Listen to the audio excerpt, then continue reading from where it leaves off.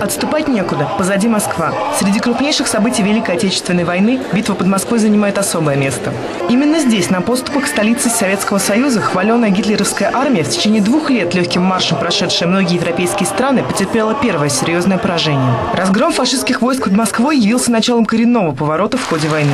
Прошло уже 70 лет, и мы продолжаем чтить память погибших на поле боя. В Российском университете дружбы народов регулярно проходят встречи с ветеранами Великой Отечественной войны. В честь 70-летия битвы под Москвой в Центре культуры и искусства «Меридиан» студенты РУДН организовали праздничный концерт. На него приглашены более 200 ветеранов Великой Отечественной войны. Среди них не только герои битвы под Москвой, но и те, кто рисковал жизнью на других фронтах. Мы участвовали там э, в обороне Ленинграда, рядом с Ладожским озером, где шли ожесточеннейшие бои между немцами и нашими. Немцы хотели закрыть э, э, кольцо вокруг Ленинграда и тем самым перерезать дорогу жизни по Ладожскому озеру.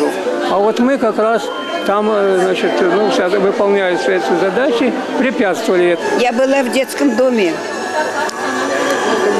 Правительство также заботилось о нас. Нас никто не обижал.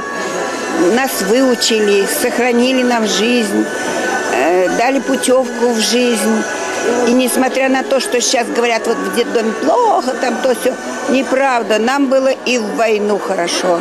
Мы работали как могли, под девиз «Все для фронта, все для победы».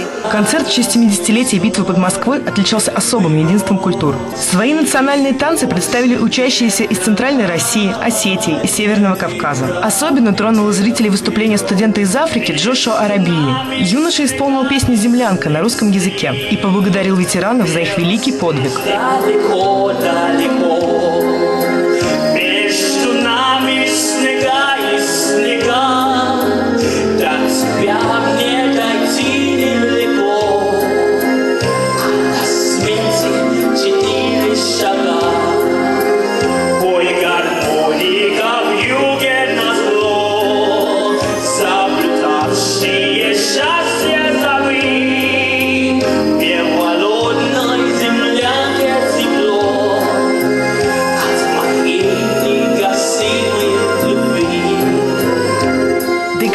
тронуть эти выступления. Молодые люди и девушки с разных концов света превозносили в песнях подвиг нашей страны, а ветераны подпевали им из зрительного зала и, должно быть, думали. Ведь за это мы и воевали. За молодость, за счастье, за мир между всеми народами.